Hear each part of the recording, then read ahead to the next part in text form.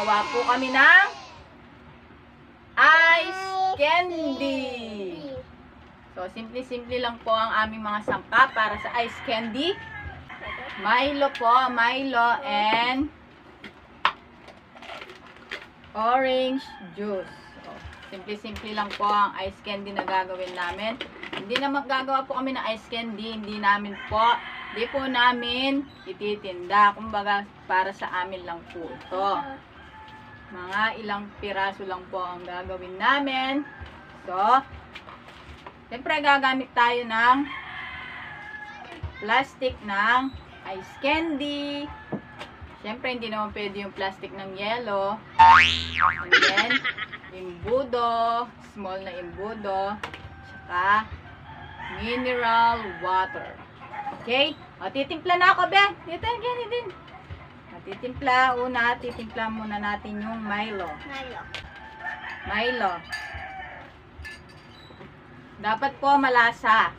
Malasang Milo para masarap yung ating Milo ice candy. So, one, two,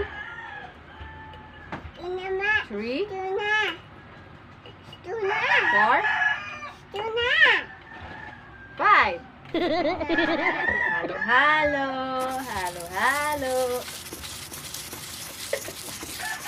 Then, para may lasa, lalagyan natin ng asukal. Asukal. Para may lasa. One, two, three.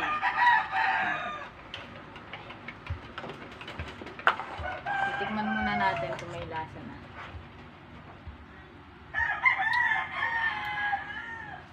Okay. Sarap. And then, prepare na tayo ng plastic ice candy. And then, yung ating imbudo. Yeah.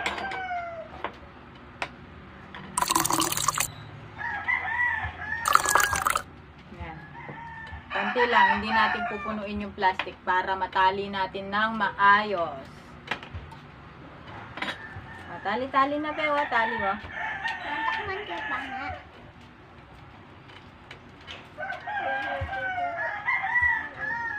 Hmm. Plastic oh. Ito. Beo, plastic, oh. Siya, na, dali. Ikaw magbuwas.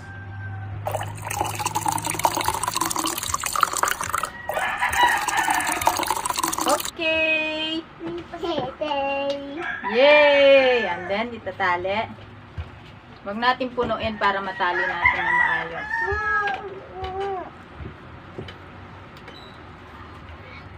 Dapat isa pa. Isa pa, Be. Mga ilang pieces lang po ang gagawin namin. Oh. Da, buwas, buwas. Bukas. Ibus mo, ibus mo. Up, yeah. Milo ice candy. Kung, nag, kung may rep po kayo, pwede po kayo magtinda ng ice candy. Mabili naman po yung mga ice candy sa mga bata. Kahit Milo ice candy lang. Oh. Ang galing. Ah, buhos mo na to, Bewa. Bo, Be, wag kang arang. Ah, buhos mo na to. Buhos mo na yan. Sige, buhos mo na lahat. Buhos. Yan. Yada. Wala na. So, yung panghuli, konti na lang po siya. Ah. Baba. Ano kasi to, Be? Ano kasi to? Ice candy. Ice? Ice daddy. Ice study? Ice study. Huwag kang Be. Oh, ice steady. Tapos na yung Milo ice candy. Oh, nakailan tayo ng timpla ng Milo ice candy. Be, bilangin mo nga, Be. One, two, three, four, five, six, Oh, dali. Oh, one, two, two, three, Three. Five. Four. Five. Five. Five. Six. Six. Seven. Seven. Eight. Eight. Yay! Nakailan tayo? Eight. Eight na Milo oh, Ice Candy. Oh, Pagkatapos po ng Milo Ice Candy is orange ice candy naman po ang aming gagawin. Ano kasing gagawin natin? Ice, ano? Ice candy. Very good ice candy. Ice candy. Dali. Titimpla na po kami. So sabi ko nga, konti lang pong gagawin namin kasi hindi naman po namin ito ititinda para sa amin lang po ito. Kasi nga po, wala po kaming ref, magkikiref lang po kami kay Lola. Magkikiref lang tayo kay Lola, no be? Lol. Kaya hindi pwedeng marami. Konti lang ang gagawin namin. Kasi wala po kami sariling ref. Okay? Tatimpla na. So, one. Dapat malasa para masarap yung ice candy natin.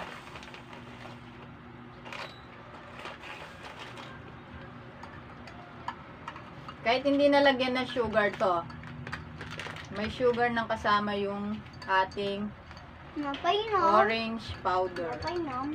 Tikman ko nga. Takman. Iiwan. Sarap. O, tikman mo nga, be. Si kuya muna. Ano lasa? Mm. Be, sabihin mo, ano lasa? Naman. Masarap. Manyaman daw po is masarap. O si, ano naman, si Bunso. Hmm, Ano lasa, be? Yaya. Lasa. Sarap. Mm. So, o, dali, na tayo. Magbabalot na tayo. O, siya na yung budo natin. Budo. Budo.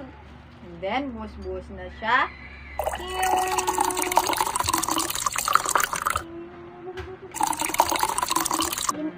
diba?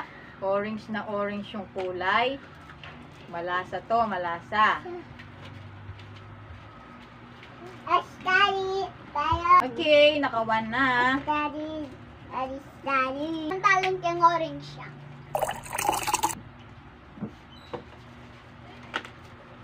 Gabot iyan. Bala ko, bot na lang. Bot na lang. Mm. Tutang. Pag mainit kasi, naghahanap kami ng ah, ma- malamig na makakain or malamig na inumin, di ba? Pag mainit, naghahanap tayo ng malalamig.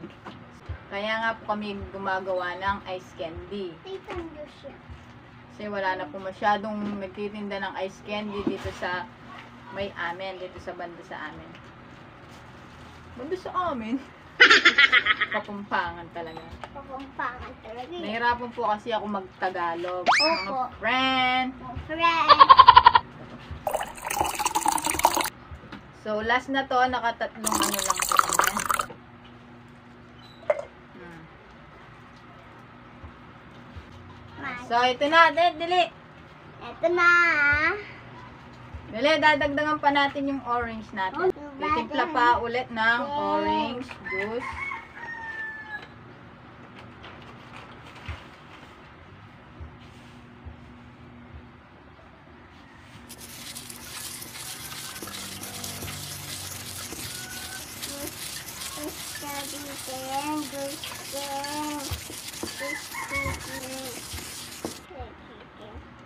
Ako, yeah. Ako. Yun na.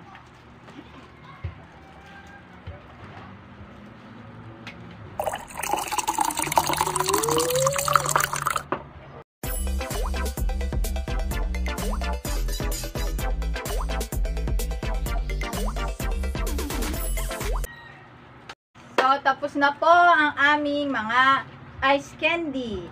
Milo ice candy and then orange ice candy. Nakailang ano tayo, Ben? Nakailang orange tayo? Bilangan mo nga. Orange. Orange. Bilangan mo yung orange. Ah. One, Two, two, three, three, four, four, and then five na orange ice candy. Nakailang orange tayo? three, Five. O, yung Milo kasi ilan? Ilan yung Milo? Bebilangin natin ulit. One, two, two, three, three, four, four, five, five, six, six, seven, seven, ito pa, eight. Eight na Milo ice candy and then five na orange ice candy. So, yun lamang po. Sinare lang po namin kung paano gumawa ng ice candy, Milo and orange ice candy. So, kung nagustuhan nyo po ang aming video kasama ang aking mga kids, please like po ang aming video. Share nyo na rin. And then, huwag nyo pong kakalimutan mag subscribe. Pindutin nyo po, pindutin nyo po yung subscribe button sa ilalim. Okay? Sana po nagustuhan nyo po ang aming video. Bye-bye!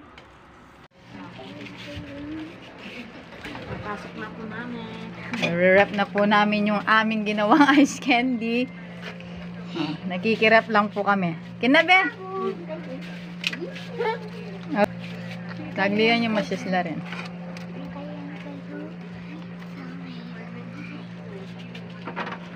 Yung mga batang magulo, oh. Oh, ayusin nyo. Nana! Yay! Yan na! Ayusin nyo yung ice candy nyo.